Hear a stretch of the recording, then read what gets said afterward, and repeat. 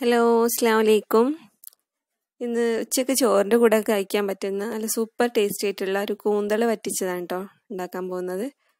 അപ്പം അതിന് വേണ്ടിയിട്ട് ഒരു അര കിലോ കൂന്തൾ എടുത്തിട്ടുണ്ട്. പിന്നെ ഒരു തക്കാളി രണ്ട് പച്ചമുളക് കുറച്ച് ചെറിയുള്ളി പിന്നെ വെളുത്തുള്ളി ഇഞ്ചി. അപ്പോൾ ഇതൊക്കെ നമുക്കൊന്ന് ചതച്ചെടുക്കണം. ചെറിയൊരു ഉരലിൽ വെച്ചിട്ട് ഇത് ഈ വെളുത്തുള്ളിയും ചെറിയുള്ളിയൊക്കെ ഒന്ന് ചതച്ചെടുക്കാം. എന്നിട്ടിപ്പോൾ ഒരു ചട്ടിയിലേക്ക് ഞാനിത് മാറ്റിയിട്ടുണ്ട്. നമ്മൾ അടുപ്പത്ത് വെച്ചാണ് ഇത് ഉണ്ടാക്കാൻ പോകുന്നത്. തക്കാളി മുറിച്ചതും പച്ചമുളകൊക്കെ ഇതിലേക്ക് ചേർത്ത് കൊടുക്കാം. നമ്മൾ കഴുകി വെച്ചിട്ടുള്ള ഈ കൂന്തളും ഇതിലേക്ക് ചേർത്ത് കൊടുക്കാം. ഇതിലേക്ക് പൊടികളൊക്കെ ഒന്ന് മിക്സ് ചെയ്ത് കൊടുക്കാം. ഒരു ഒന്നര ടീസ്പൂണ് മുളക് പൊടി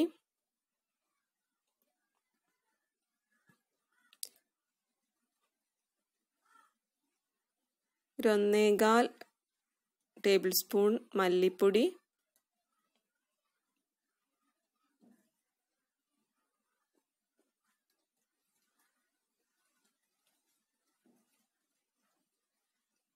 ഒരു അര ടീസ്പൂണ് പെരുംജീരകം പൊടിച്ചത്.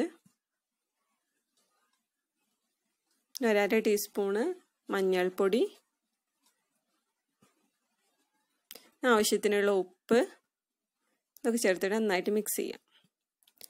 കുറച്ച് പുളി നമുക്ക് വെള്ളത്തിലൊന്ന് സോക്ക് ചെയ്ത് വെള്ള പുളി വെള്ളമാക്കി എടുക്കണം. അപ്പോൾ അത് കുറച്ച് അതിലേക്ക് ചേർത്ത് കൊടുക്കാം.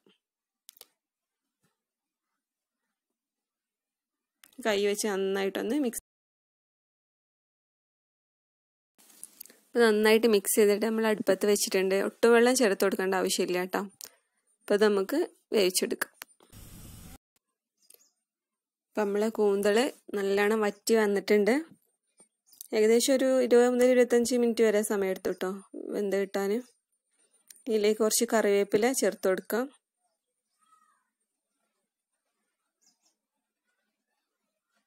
പിന്നെ കുറച്ച് പച്ച വെളിച്ചെണ്ണ അതിന്റെ മുകളിൽ ഒഴിച്ചു കൊടുക്കാം.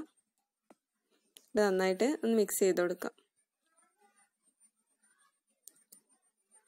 അപ്പം നമ്മൾ സൂപ്പർ കൂന്തൽ വറ്റിച്ചത് അല്ലെങ്കിൽ കണവ വറ്റിച്ചത് റെഡി ആയിട്ടോ ചില സ്ഥലത്ത് കണവ എന്നും പറയും ഇതിന്.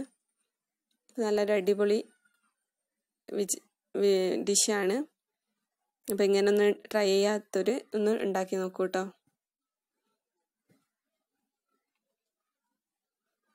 അപ്പം